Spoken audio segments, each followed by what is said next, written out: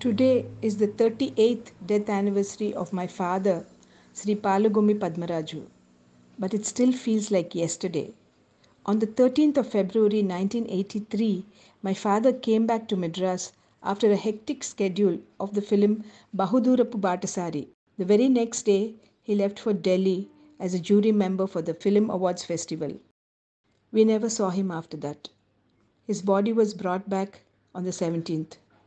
He passed away very peacefully in Delhi.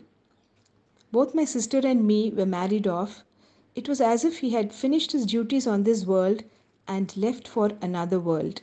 Many short stories and novels of his were way ahead of his times. Now, in the era of the booming OTT platforms, I wonder how well he would fit into this stream of visual entertainment, which is not the run of the mill.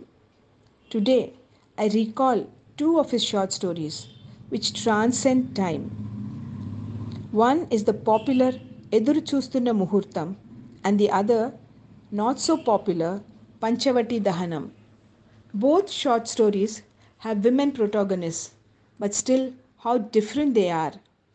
One is a confused young woman who does not know what she really wants in life and is always yearning and waiting anxiously for that perfect moment which may or may not come at all.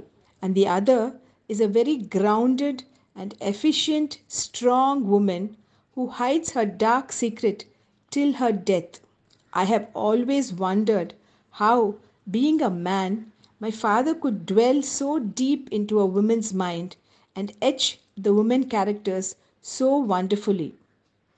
Though most of his stories have a rustic background, the themes are largely universal and the characters are identifiable even today.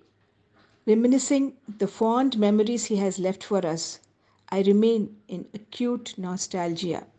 If you like our videos and channel, please like and subscribe.